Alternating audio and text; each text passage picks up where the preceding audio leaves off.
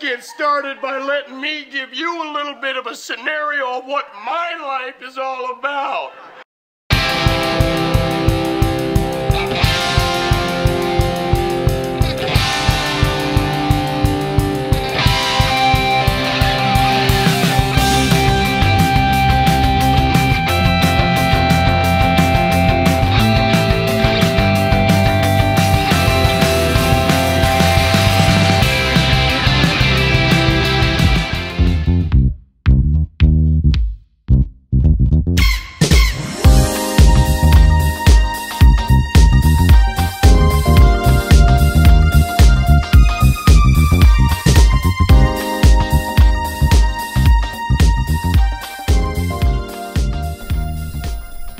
Hola Drifters, Jay Barak, Sandy Sage with you here in the Mojave National Preserve at the Zzyzx Road Desert Studies Center. At least that's what it's called today, but its history as the Zzyzx uh, Mineral Spring Resort and Spa is probably the most interesting part of its uh, long, long history here at the edge of the Mojave Desert. Uh, it was used as a resting spot for travelers for a while. At uh, one point, uh, camels came through here delivering mail back in the 1850s.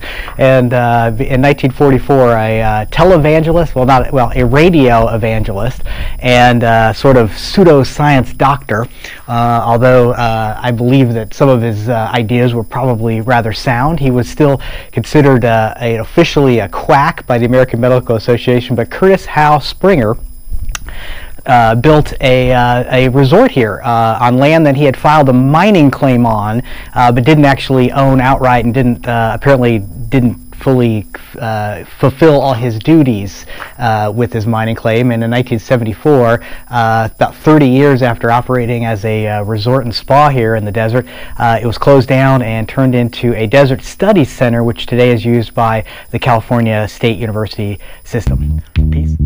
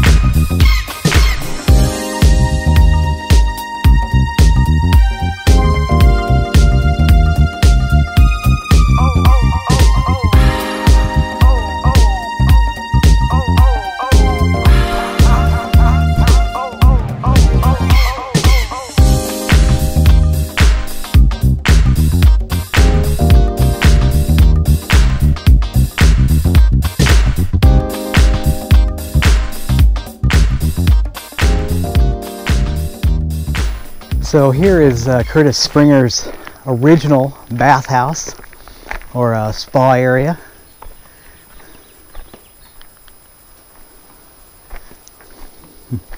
This is about five feet deep here.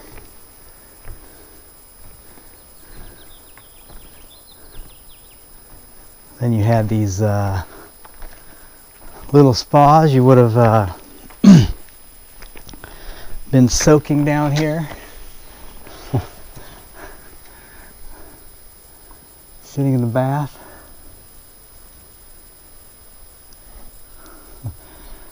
Yes, sitting in the spa, overlooking this gorgeous view of Soda Lake, the mountains behind it.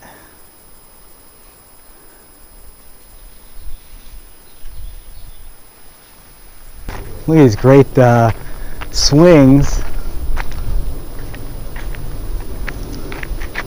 Gotta try it.